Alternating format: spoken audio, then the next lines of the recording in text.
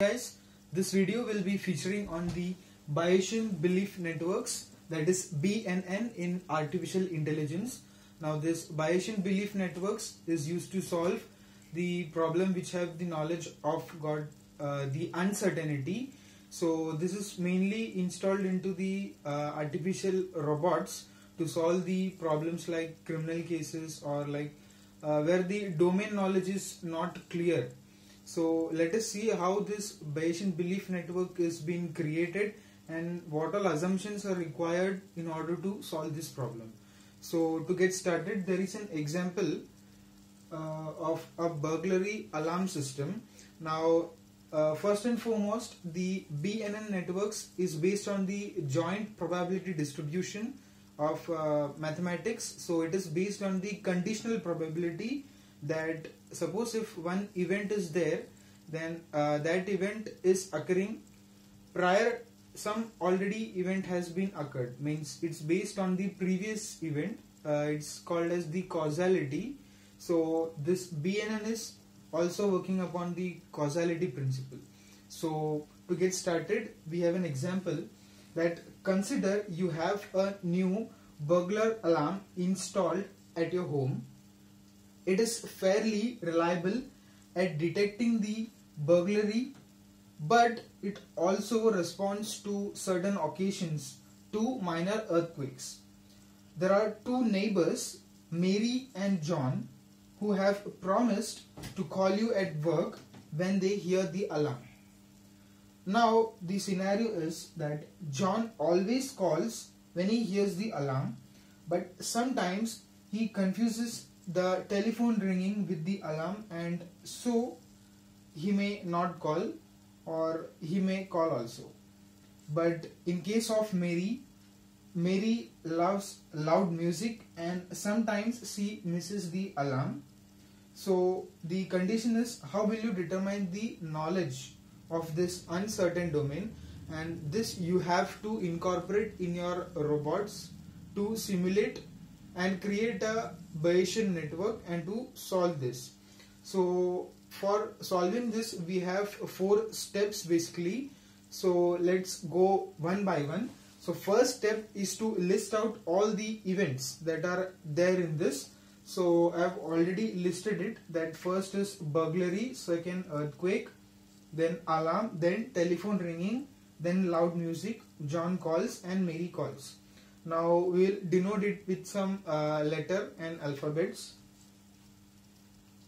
So first it is burglary so we'll denote it with a B for earthquake E for alarm A telephone ringing T loud music L John calls J Mary calls M now we have to find the dependencies of these events from this given condition and after that we have to draw a DAG uh, DAG stands for the directed acyclic graphs. Now directed acyclic graphs are those graphs uh, which do not have a loop and it's only in one direction. The flow is only in one direction. Now graph is basically a uh, point and edge mechanism uh, where it consists of uh, nodes and edges as links and this acyclic uh, means there is no uh, cycles or loops to these graphs. So and it makes a DAG so for solving this problem we have the nodes as events. And for links we use the dependencies between these uh, events. So let us draw one DAG it is very simple. So first we'll consider that we have an alarm mainly. So for alarm we'll draw a here. We'll place a right at the center. And first if there is a burglary then alarm rings. So we will denote b here. And also if earthquake happens at that time also alarm rings. So e happens and so this is directed here so this is a directed graph consisting of edges as well as nodes. Nodes as events and edges as the dependencies. Now when alarm rings it has to be notified to someone. So if alarm rings it is notified to John. So John gets notified when alarm rings as well as Mary get notified when alarm rings. But John also attends telephone so he may confuse with the telephone ringing with the alarm. So there is a T here that is this event is associated with John as well as for M for Mary we have the loud music so whenever loud music influences Mary, she also misses the alarm. So this is the directed acyclic graph for Bayesian belief network. Now we have to uh, provide the conditional probability to each of these networks. So our final and last step would be drawing the uh, conditional probability for this graph. So we'll reconstruct this graph once more with the new added probability distributions.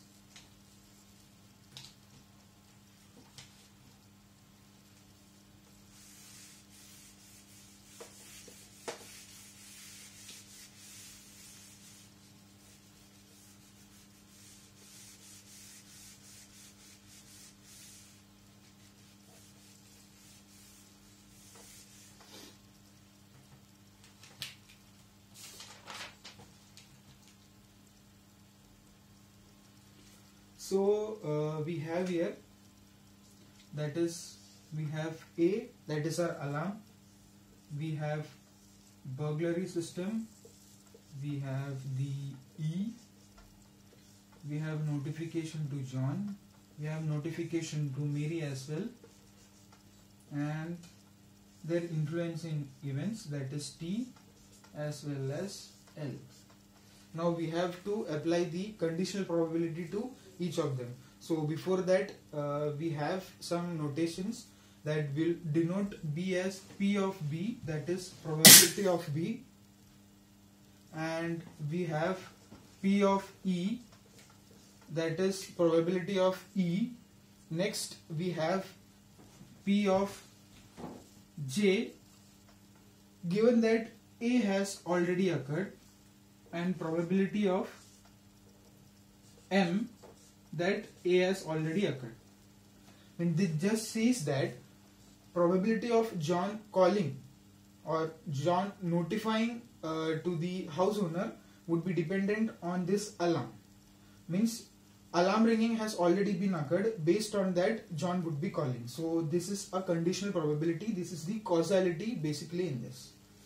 And now for P of A it would be P of A probability of event A such that B and E has already occurred. Means this should occur then only the alarm will ring. So this is the probability notation we are giving to this Bayesian network. Now we'll give the uh, probability values based upon the true or false value. So for that we'll consider one table. So here it is so basically it is T and F that is true and false.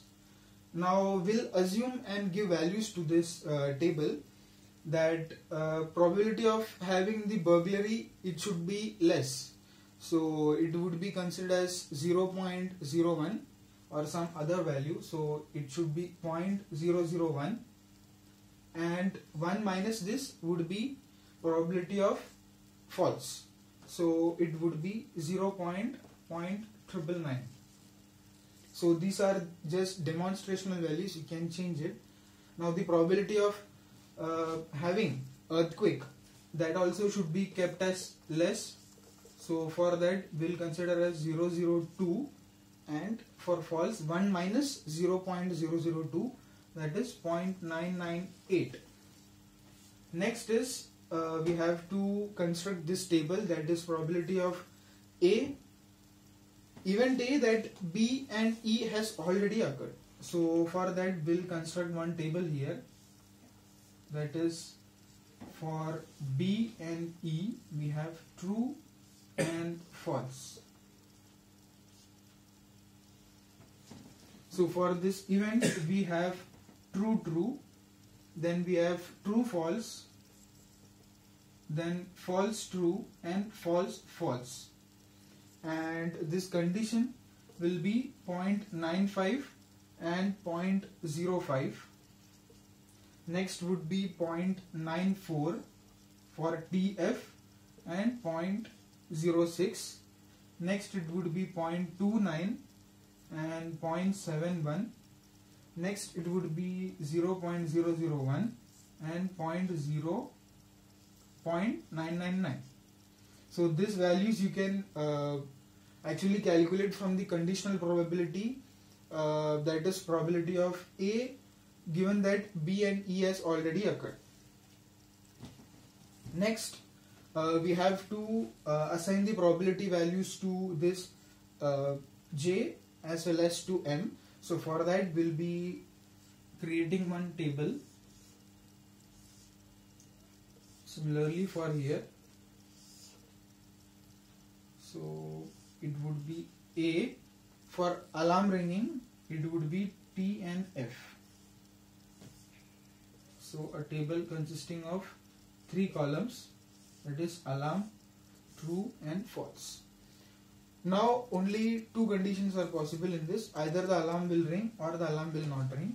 So it would be T and F and T and F so now it would be 0.9 and the false condition would be 0.1 and now for false it would be 0.05 and it would be 0.95 next for Mary calling when the alarm occurs the distribution would be 0.7 and 0.3 and next would be 0.01 and 0.99 so this table is constructed based upon the causality of Bayesian networks.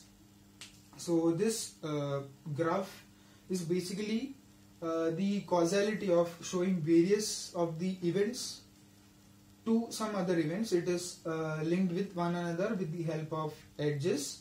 And so it is uh, moreover calculated based upon the joint probability distribution means uh, the probability is not randomized but it is uh, dependent more on the previous uh, probability of previous event and it's influencing more on the parent event so this is the Bayesian network in uh, artificial intelligence in detail Hope you enjoyed this video. If you found this video helpful, please hit the like button and if you still not subscribed to my channel, please subscribe. Thanks for watching this video.